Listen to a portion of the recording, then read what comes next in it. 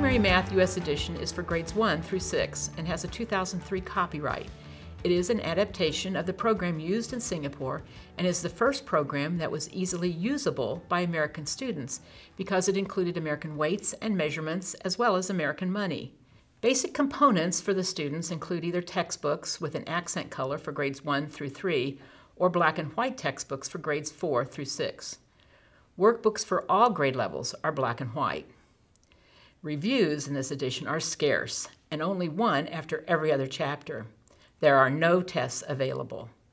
Teacher materials in the form of home instructor's guides are currently available only for levels 2A through 6B. The textbooks are designed as non-consumable, with students answering orally in dialogue with the teacher or writing answers on separate pieces of paper. Fundamental to the course content and to the concrete to pictorial to abstract teaching methodology, these textbooks include basic instruction, pictorial representations of manipulatives, and problem examples. Workbooks correlate directly with the textbooks, and the student is expected to independently do all the work in them. The workbooks provide focused practice on the mathematical concepts presented in the textbook lessons. Home instructor guides provide the teacher materials for this edition and are designed for one-on-one instruction or a tutoring situation. They help the parent-teacher understand the approach and course material as well as provide suggestions for introducing concepts. Although the textbooks are written directly to the student, it is assumed that instruction is coming from the teacher and is supervised by that teacher. Let's take a closer look at the course materials and how they work together.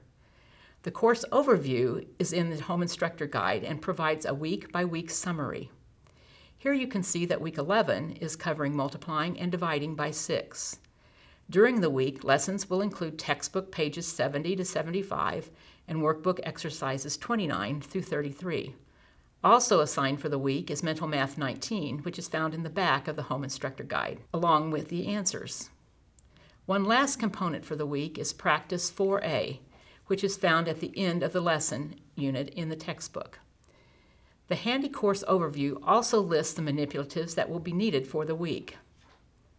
The lesson plans start with the memorization of the division facts for 6, then follows the lesson instruction coupled with the completion of a learning task from the textbook. Next are suggestions and instructions for two reinforcing games.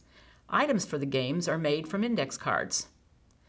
A two-page assignment from the workbook concludes the lesson. This is independent work for the student. Answer for this day's learning task are right in the lesson plans although sometimes they are in the back of the Home Instructor Guide. Answers for the workbook pages are always in the back. Much of the concrete aspect of this lesson presentation is conducted by the teacher, sometimes using manipulatives and supplies outlined in the Home Instructor's Guides, all of this before progressing to the pictorial presentation found in the textbooks. Mental math, math fact drills, and teaching segments, as well as reinforcement games and activities, are all built into the home instructor guides. The extra practice workbooks are the only extra component in this edition and match the scope and sequence of the textbooks. For example, there is a page that you could use as additional practice or as a review for the lesson on dividing by six. These books are similar in format to the workbooks and include the same types of problems and exercises with one book that covers both A and B levels.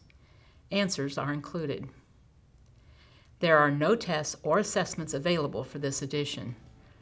Students completing this series are usually ready for grade 7 of Math in Focus, or New Elementary Math Level 1, a traditional pre-algebra, or possibly an algebra program. For convenience, we have sets for each grade and semester that include the textbook, the workbook, and the home instructor guide. If you have questions about the U.S. edition of Primary Math or any of the Singapore Math courses, please contact our Rainbow consultants. We can be reached during normal office hours, Monday through Friday, 8.30 a.m. to 5 o'clock p.m. Central Time. Our phone number is 888-841-3456 and our email is consultants at rainbowresource.com. You can also contact us through the live chat feature on the website. We look forward to talking to you.